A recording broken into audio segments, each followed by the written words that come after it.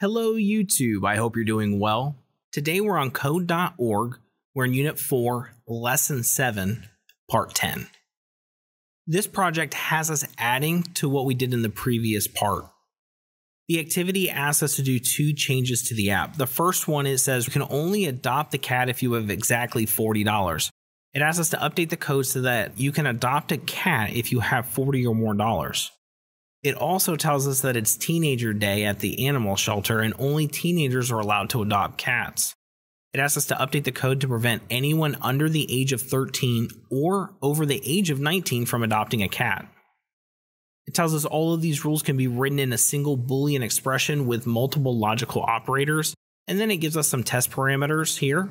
If we look at our code, the only changes that we need to make is in this section right here, the if part where we're comparing different things. What I'm going to do is I'm going to go to the show text section just because it's going to be easier to modify the code that's there.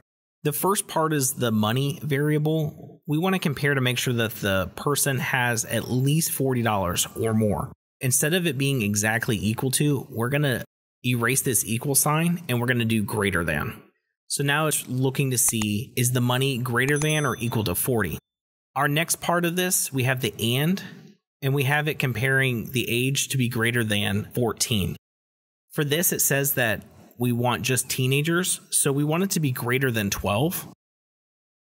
We're not done here though.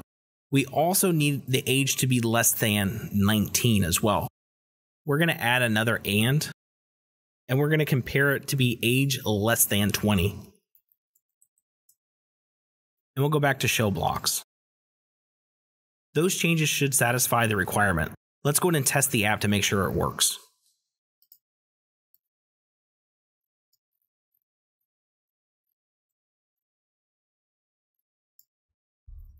After testing all the variables, we can see that our logic works.